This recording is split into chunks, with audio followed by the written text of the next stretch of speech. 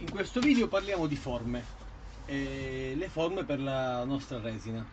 Eh, le più comuni sono quelle in silicone che io non utilizzo perché mi piace dare alla resina una forma particolare, ben specifica, più che altro la scelgo io in fase di lavorazione.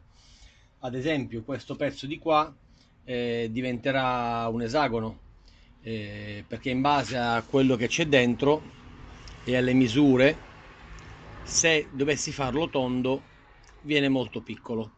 Quindi eh, farò qui una forma esagonale. Cosa uso per le forme io? In questi casi ho utilizzato il plexiglass. Ho fatto delle casseformi in plexiglass eh, dopo aver eh, preparato il legno strappato eh, che strappo tramite un, una giratu- un giratubi eh, poi cosa faccio? Spennello con la resina la parte strappata, la lascio asciugare applicando i colori o quello che serve. Una volta asciutto, creo la cassaforme, la metto in questa posizione e faccio la colata di resina. Perché faccio così? Perché il legno eh, contiene sempre delle microbolle. Quindi se io non spennello prima eh, il legno, quando vado a fare la colata di resina che vi ricordo deve essere fatta a temperatura minima di 15-18 gradi non meno altrimenti eh, le bolle praticamente saranno tantissime e vi servirà il sottovuoto. Quindi dicevo ehm, la faccio in questo modo affinché le bolle del legno non salgano su ma rimangano inglobate sotto. Una volta fatta la colata uscito fuori il pezzo decido poi che forma dare. In questo caso è un pezzo abbastanza lungo quindi deciderò per una forma ovale o anche qui per un quadrato smussando gli angoli eh, oppure potrò smussare questo angolo e questo qua dietro in maniera da fare una forma strana. Eh, come vedete ne ho fatte tante. Eh, dentro inglobato in questo caso non so se li riuscite a vedere bene sono dei trucioli di, di ottone presi da un tornio. Forse qui eh, si notano un po' meglio li vedete? Eccoli qua. Eh, quindi, cosa abbiamo detto? Utilizziamo il plexiglass. Eh, oltre al plexiglass utilizzo qualsiasi materiale plastico eh, che posso trovare. Ad esempio, eh, dei semplici barattoli che io taglio, creo questi cerchi di qua, li vado ad appiccicare con la colla a caldo su un quadretto di, sempre di plexiglass una volta appiccicati faccio la prima colata, una colata di un millimetro, un millimetro e mezzo, due millimetri, la lascio asciugare un po' e appena inizia a catalizzare appoggio su gli elementi decorativi che voglio inserire all'interno del mio monile. Quali sono gli elementi decorativi? Posso inserire delle microsfere eh, fatte in precedenza, eh, posso inserire dei fiori secchi, come avete visto in eh, questo monile di qua questi sono dei fiori secchi. Eh, si può ins possono inserire i trucioli eh, si possono inserire dei pezzi di corteccia eh, dei pezzi di radica come avrete visto in altri lavori che ho fatto io. Eh, vi basta solo un po' di fantasia. Potete inserire dentro quello che volete anche le caramelle. Eh, una volta inseriti i pezzi io cosa faccio? Spennello con i colori che voglio dare. O metto i glitter colorati che troverete in tutti i negozi dei cinesi o nei siti specializzati. La differenza sta nel costo. Questi costano un euro quelli costano 10 euro. E lascio asciugare il tutto aspetto qualche ora e faccio la seconda colata arrivando esattamente al bordo del, del, della mia cassaforme. E fatto ciò aspetto le mie 24 ore eh, se avete unito bene i due componenti così come specificato nelle istruzioni di ogni resina perché ognuna ha la sua, ehm, la sua dose di componente A e B nel mio caso parliamo di eh, 10 a 6 eh, otterrete un, un pezzo eh, rigido come questo. Come vedete questo è, è sformato da una cassaforme fatta da me. È un barattolo all'interno ho messo il proprio tappo ed è uscito fuori uno di questi ovviamente questo è grezzo andrà lavorato, eh, andrà inserito all'interno di un altro monile oppure potete inserirne potete inserire altre cose dentro, scegliete voi quello che volete inserire.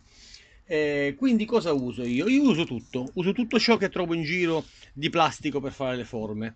Utilizzo quindi barattoli, eh, utilizzo come vedete il plexiglass messo sotto. Eh, queste di qua sono delle forme che io ho fatto solo per non buttare la resina a fine lavorazione perché mi restava sempre un po' di resina. Allora ho preparato dei cerchietti, ho detto man mano butto la resina.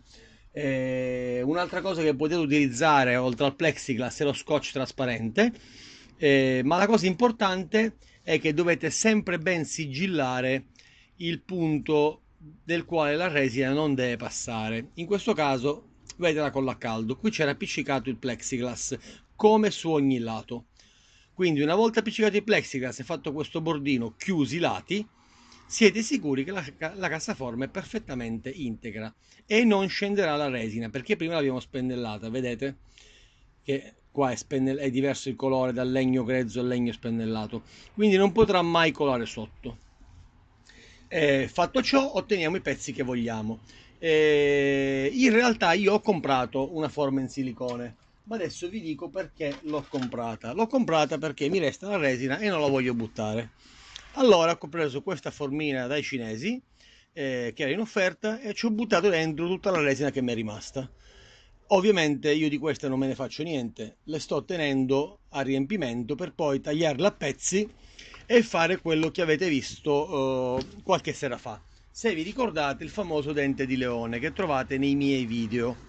Il dente di leone non è altro che un pezzo di, questo, di questa resina, purtroppo è andata male perché non sono riuscito a staccare i due tubicini interni che erano molto duri, quindi ne ho staccato un pezzo, l'ho lavorato e ho fatto il dente di leone per mio figlio. Quindi detto ciò, eh, molti, eh, devo dire la maggior parte, utilizzano gli stampini in silicone. Devo dire che la scelta dello stampino in silicone è una scelta molto oculata per chi eh, vuole eh, attenersi alla forma data dallo stampino. Quali sono i pregi dello stampino in silicone? Sono quelli che se è uno stampino lucido e fai bene la colata, una volta uscito gli fai il buco, gli metti la catenella e lo vendi o lo regali. Nel mio caso, che amo complicarmi la vita, non è così, perché io tutti i miei stampi sono completamente diversi e storti, tutti i miei stampi devono essere lavorati, quindi ci metto eh, parecchio tempo per dare una forma e scegliere eh, il soggetto finale del mio monile. Questa forma di cu- a cuore, come vedete, non è fatta con lo stampino, è una forma che va buttata, ma in ogni caso l'ho tenuta per farvi vedere una cosa. Questa forma a cuore l'ho fatta sempre con un barattolo.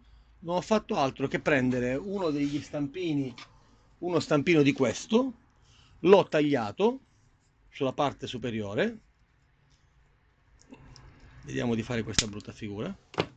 Dopodiché cosa ho fatto? Ho unito le punte qua sotto, le ho attaccate sulla base, sulla base, eh, del, ehm, del, sulla base in plexiglass e poi ho curvato la prima mettendola con la caldo, ho curvato la seconda mettendola con la caldo e ho creato la forma del cuore. Ovviamente così non ve la posso far vedere, ma vi assicuro che la forma era questa. Quindi la fantasia è quella che vi aiuta, eh, potete anche non spendere nulla, utilizzare tutto quello che avete a casa. Io tengo da parte tutto quello che trovo, tengo da parte anche i tappi, perché ogni pezzo dà una forma diversa. E ehm, quindi sta a voi decidere se fare dei pezzi unici come quelli che io ho scelto di fare ormai o se comprare gli stampini e fare a ciclo stile. Lo stampino vi, eh, vi dà ovviamente la, eh, la, possibilità di non usare completamente le, le carte vetrate perché lo stampino essendo lucido vi dà il pezzo già pronto. Dovete soltanto essere bravi una volta tolto dalla forma eh, di rifare una leggera colata sulla parte superiore e vedrete che è pronto per, eh, per utilizzarlo. Nel mio caso, come avete già visto nel video che pubblicherò, che ho pubblicato eh, sulla levigatura, per arrivare da un pezzo così a un pezzo così, vi ho fatto vedere che in 17 minuti